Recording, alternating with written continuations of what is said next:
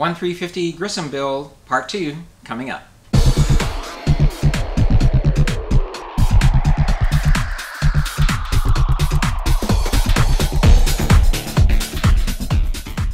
Well, hey everyone, and welcome back to another Interstellar Modeler. This is now part two of my 1 350 scale USS Grissom slash Pegasus build.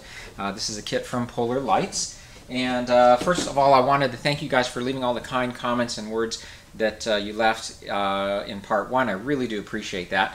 And so let me get you caught up, uh, first of all, before we do anything else, on what I've done uh, since I made the last video. So as you can see here, I did finish up with the painting.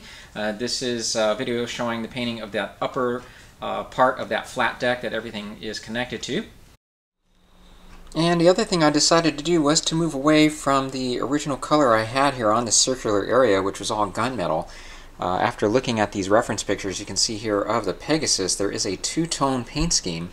And so what I decided to do was to use Vallejo's neutral gray instead, and the brushed silver color that I've been using on the model so far. And I think it does a pretty good job replicating the look. Uh, you can see here that I also added the weathering on some of the panel lines there using a Tamiya weathering kit. So if you're going for the Pegasus, I'd highly recommend checking out these pictures on the website. Again, the link is below. But I am not sure how this compares to what was originally painted on the Grissom. Now what's interesting, if you look at the primary hull again here, you'll notice there are these other markings in that circular section which appear to be battle damage, but because I'm uncertain of that, I decided just to leave those off.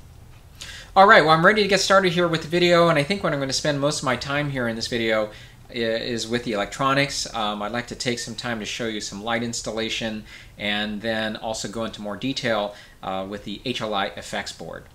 Um, I anticipated initially that I'd uh, be completed with the project in this video, but uh, there's a bunch of little things to do here, so um, I'm going to go ahead and just go through what I need to do, and I may go on to a part three at the end. Well, let's go ahead and get started. I need to begin with installing the SMDs, but you have to first put into place these clear plastic pins that come with the kit for each of the openings for the running and strobe lights. Now I'm not sure this makes a difference, but a few of them are rather bulky, so I sanded them down a little bit because I wanted the SMD to be as close to the tip as possible.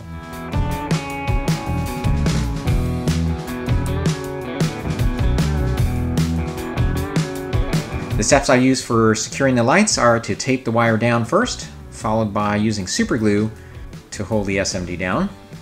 And this is then followed by using a little accelerator. And sometimes using a hair dryer on the cold setting can speed up the curing and drying process. Lastly, everything is light blocked with fabric paint from Tulip.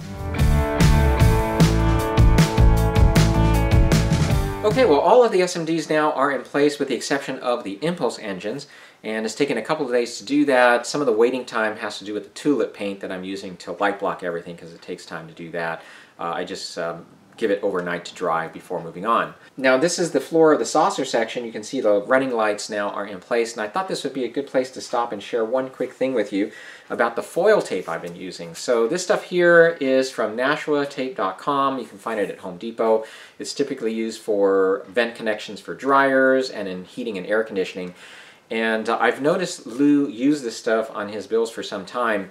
Now I've typically followed this method uh, in the past with taping down the wire before gluing the SMD to whatever it is I'm connecting it to. And it's helpful to do that because um, it just really just helps to hold everything down as you're as you're gluing things together but it also helps to create another stress point so that later on when you're fiddling around with the wires you're not constantly yanking on the connection between the wires and the LED itself.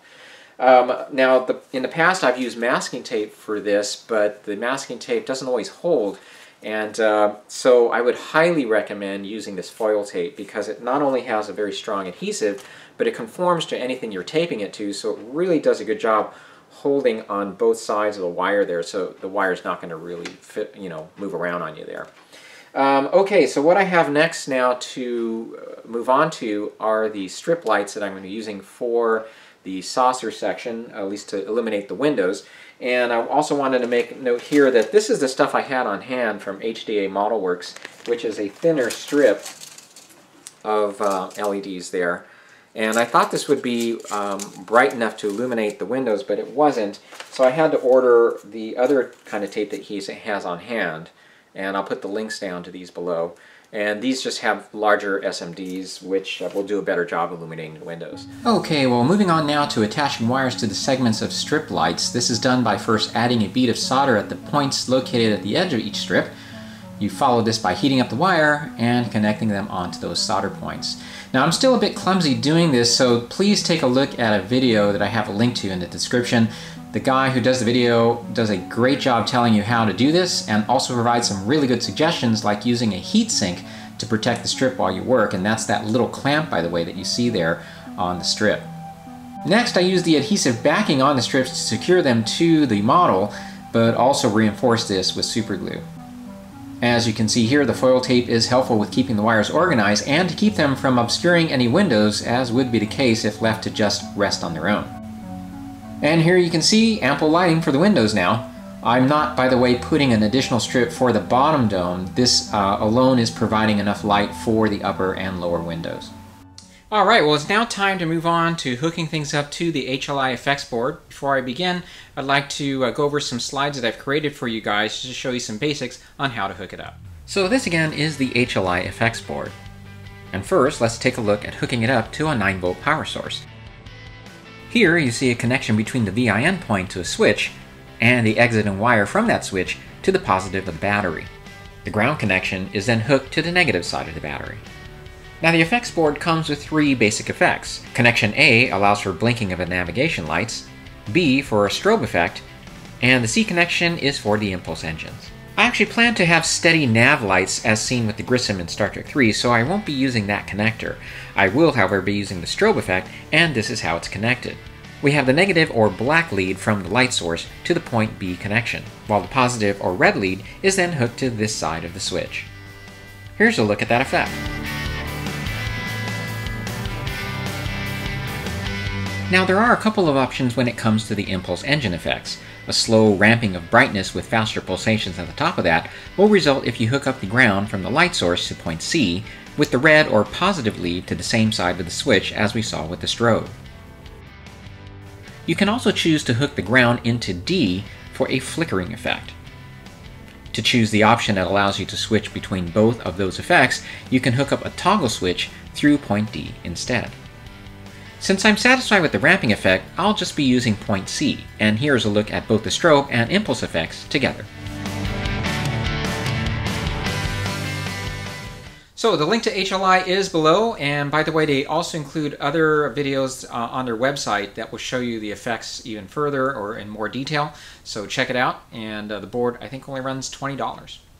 All right, so um, couple things here before we move on is uh, I went ahead now and um, soldered wires onto the board. Now I didn't record a lot of video of me uh, soldering because soldering really is not my strong suit here, but I do get by. Um, but I also thought this would be a good chance to tell you about some videos I came across that uh, before soldering this board together I wanted to uh, touch up um, and refresh my memory on how to do that because I don't do this very often. And uh, I found these ver videos very helpful. I actually learned about rosin paste flux. The first I'd heard of this was with Kenny Conklin. I was asking him some hints on how to solder points onto, uh, or how to solder wires onto a board like that. And he mentioned uh, rosin paste flux, and I had no idea what he was talking about. but uh, the guy definitely does a great job of going over this stuff. It really does help with getting to solder onto the wires. Okay, what I'd like to do next, even though I went over some of the stuff in the slides just a second ago, is actually show you the board hooked up. Uh, as I was doing this, I thought it would be helpful for you to see that. Now, if uh, this is not of any interest to, to you, feel free to skip ahead. I know this stuff can be kind of dry. uh, so let me go ahead and show you what I've done so far. Um, also wanted to let you know I did decide to go ahead and use point A as well. Uh, after fiddling around with things, I thought it'd be cool just to have the lights blink. All right, let's take a look.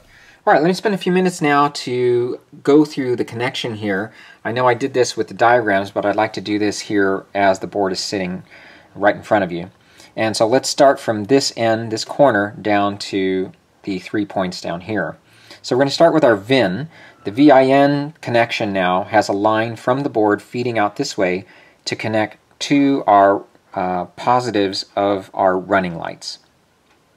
Now from here we've got another wire that's connected from this point that's going to feed through this intertwined line that you see going out there. That's going to go to the switch and the battery. And so the ground is hooked uh, here to that same line that's leaving, and this is what's going to go out of our display stand post. So now let's go down to point A. Point A has a line feeding from it, and it's black, so that is negative, going to the negatives of our running lights. While the positives, as I said, are going now to the wire that's hooked into the VIN, as well as the other one leaving. The point B is basically the same thing. We've got, except it's coming from point B to the strobe light, but the positives from the strobe light, and there's only one right now, is going to where the rest of the positives hook up. Now you can ignore this line C. I accidentally did that. I wasn't paying attention. I was as I was soldering these things on here, but that doesn't matter. We still need to uh, wire in an extension out to the impulse. And that's basically what has to happen from here now. I have to wire in an extension from these negatives to feed towards the running lights of the saucer section and the nacelles, as well as for the other strobe lights. So uh, I know for those of you who know how to do all this, um, it's, it's pretty basic stuff, but for those of you just getting started, that's why I'm doing this. It gives you guys an idea of what it actually looks like here. All right, I wanted to take things one step further then and show you the extensions that I've wired from our initial bundle here that I had mentioned are going to feed through the pylons to the upper sections of the ship. So what I've got now is one nacelle with the running lights hooked to the extension that we have for the running lights and the strobes to that of the strobe lights. And what I've done to help me out here is to color code the wires so I have these blue ones. I painted the extension for the strobes blue, the extension for the running lights this green color, and for the impulse engines this yellow-orange color. So you can see everything's wired in together and it's all working out. So an interesting point that both Lou and Boyd mention in their videos is a great way to approach building this model is to separate in two parts. You've got the upper half and the lower half.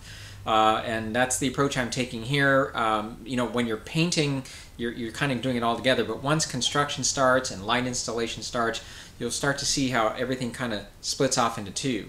So the first thing is to get the pontoon section ready because that's where all the wires are going to uh, come through and then uh, work on then the upper section. So um, that's what I'm going to be doing then in the next video is finally putting all this together. Uh, before I move on though, let me show you real quickly what I have planned for the stand.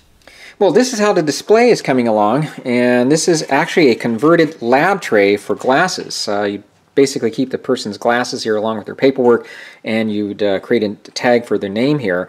And I was just looking around the other day for a stand, some ideas for a stand, and came across this lab tray and I thought it would work out well, and I think it's going to work perfectly.